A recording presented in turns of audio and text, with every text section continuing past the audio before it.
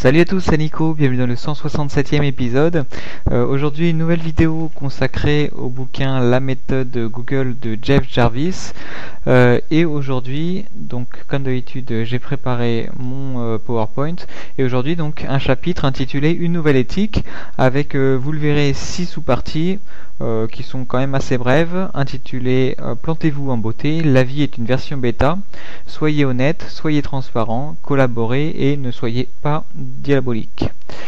Euh, donc la première sous-partie intitulée Plantez-vous en beauté, euh, en gros, euh, bah, une erreur aujourd'hui à l'ère du web, c'est pas vraiment un problème. Au contraire, ça peut être une force si on arrive à la corriger, puisqu'une erreur corrigée va pouvoir renforcer notre crédibilité. en gros, bah, aujourd'hui, de construire un outil sans aucune sans aucun bug c'est vraiment très difficile à, achever.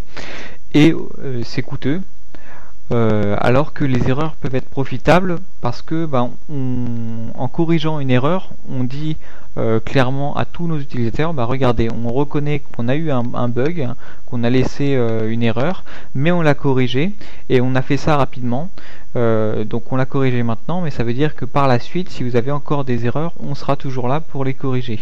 Donc ça renforce euh, notre crédibilité. Ensuite, euh, dans la sous-partie La vie est une version bêta, donc il commence en présentant Google comme euh, ayant quasiment que des produits en version bêta parce que euh, c'est le moyen pour Google de, ne pas avoir à s'excuser pour tous les bugs euh, qu'on pourrait trouver sur leur produit donc c'est quand même assez rare qu'on trouve un bug.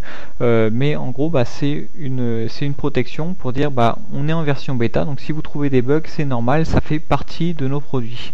Et même plus que ça ça permet aux utilisateurs, donc d'avoir une version bêta, ça permet aux utilisateurs de signaler un dysfonctionnement, un problème sur les outils euh, et également de euh, pouvoir avoir euh, facilement des avis, des suggestions, des propositions d'amélioration.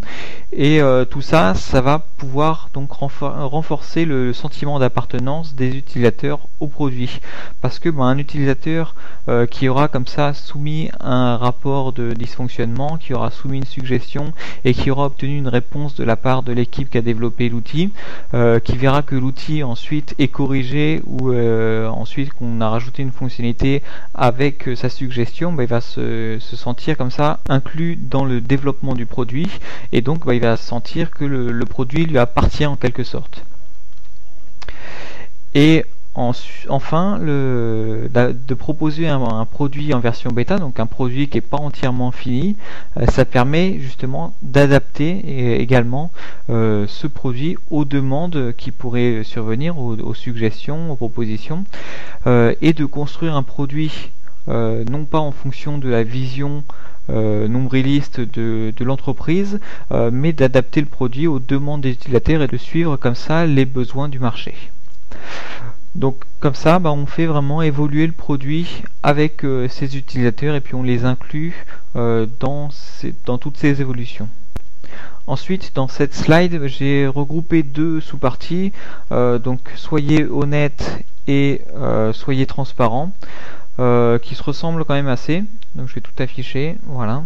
Donc, soyez honnête. en gros, il nous dit de lors de nos conversations sur, euh, sur le web de rester complètement humain comme on serait euh, avec une personne en face à face euh, dans toutes nos discussions vraiment garder notre ton humain et assez amical et euh, faut toujours se rappeler que euh, quoi qu'on dise sur internet, à un moment donné ça pourra être retrouvé, donc faut vraiment euh, être le plus honnête possible et également le plus transparent possible. Donc là euh, c'est en rapport avec tous les précédents chapitres et toutes les dernières vidéos que, que je vous ai présentées.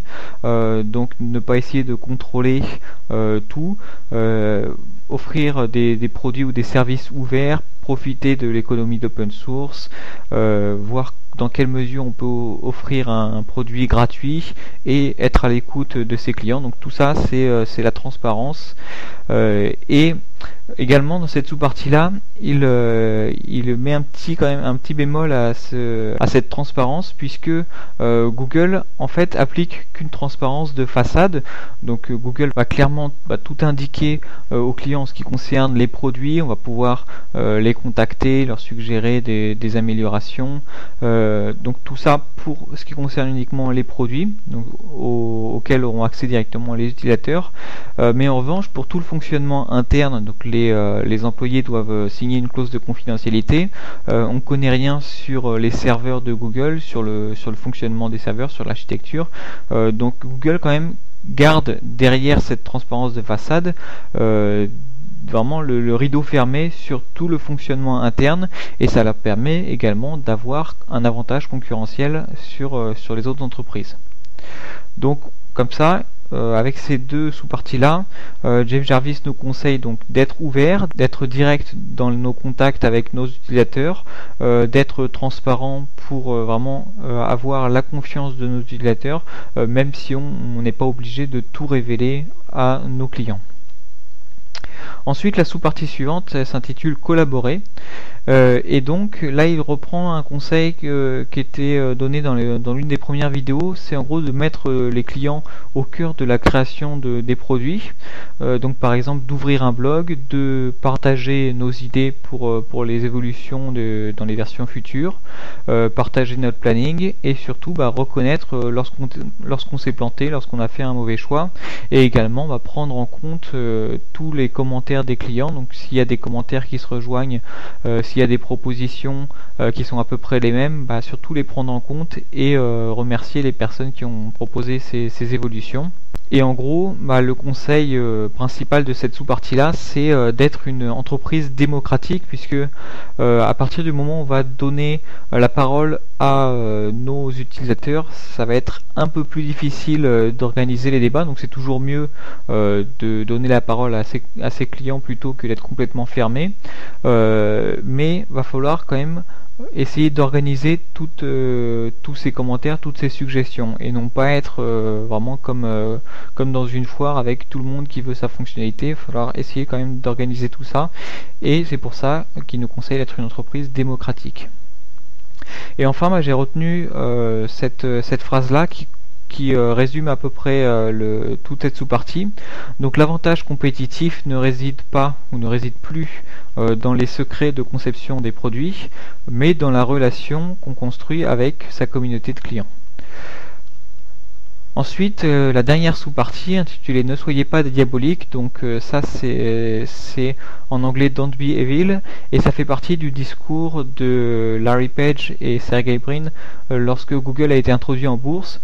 il disait en gros qu'une entreprise aujourd'hui n'avait plus besoin euh, d'être euh, comme ça diabolique euh, et au contraire de ne pas être diabolique c'était un bon investissement à l'avenir. Donc même si on refusait des profits à court terme d'être une entreprise qui veut le, bien entre guillemets va être un, un, bon engagement pour le futur.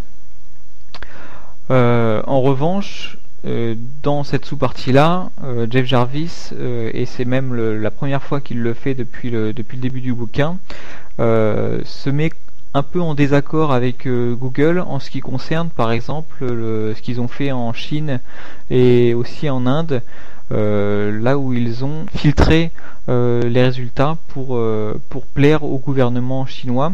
en gros, c'était soit on filtre les résultats, soit on n'est pas du tout présent, et Google a choisi la première solution. Euh, alors que euh, l'auteur aurait dit que Google aurait dû profiter euh, de sa puissance et peut-être que Google n'est pas réellement conscient de, la puissance de la puissance qu'elle a. Et enfin, la citation qui résume cette sous-partie-là, c'est avec l'explosion des interactions, le coût marginal des actions diaboliques dépasse les bénéfices à en tirer. donc en gros, Euh, à l'heure du web 2.0, à l'heure des échanges euh, et euh, des clients qui sont en fait notre communication marketing, ça va servir à rien d'être, d'agir de façon diabolique puisque on va avoir tout de suite des répercussions sur notre image de marque, on va perdre des clients, etc. Donc à partir du moment où on essaye de faire le bien, tout ensuite devrait s'enchaîner et on aura moins de problèmes. Donc voilà pour cette nouvelle vidéo consacrée à la méthode Google de Jeff Jarvis.